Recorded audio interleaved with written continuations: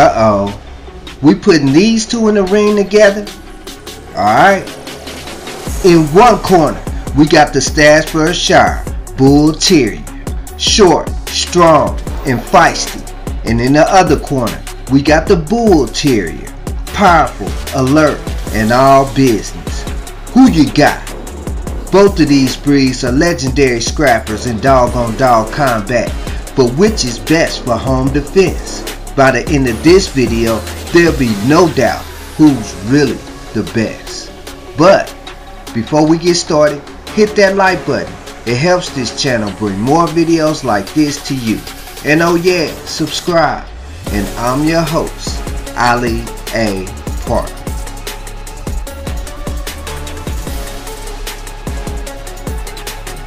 Bite Force The Staffordshire Bull Terrier is coming in at 200 psi, while the Bull Terrier is coming in a little bit strong with 269 psi. So this round will go to the Bull Terrier. Point for the Bull Terrier. Size. The Staffordshire Bull Terrier stands at about 16 inches in height, weighing about 38 pounds. The Bull Terrier stands about 22 inches in height, weighing about 70 pounds. So this round will also go to the Bull Terrier for the size advantage. Point for the Bull Terrier. Speed. The Staffordshire Shire is coming in at 30 miles per hour, while the Bull Terrier lags behind at only 27 miles per hour. So this round goes to the staff. Point for the staff.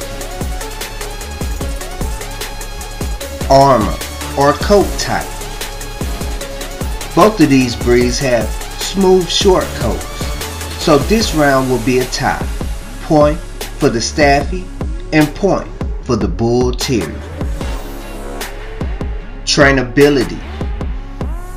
While both of these breeds are very intelligent, the Staffy will be much easier to train.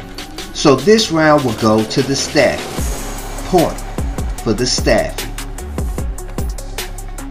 Protective nature. While both of these breeds are very protective of their families, the Staffy will be a little bit more protective. So this round will go to the Staffy. Point for the Staffy. Stability. While both of these breeds are pretty stable dogs, if I had to choose one, I would go with the Staffy.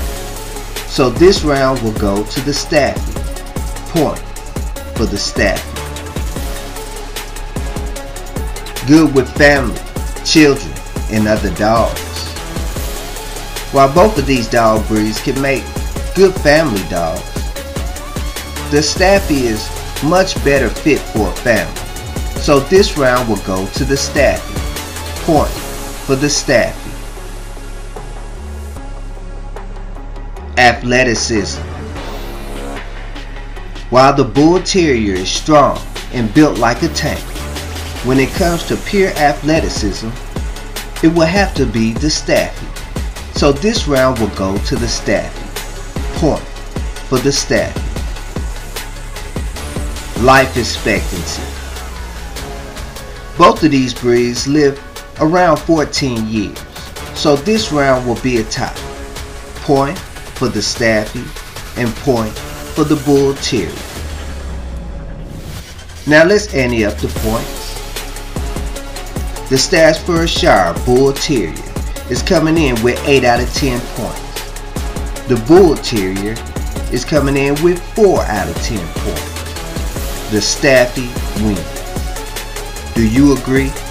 Tell me in the comments.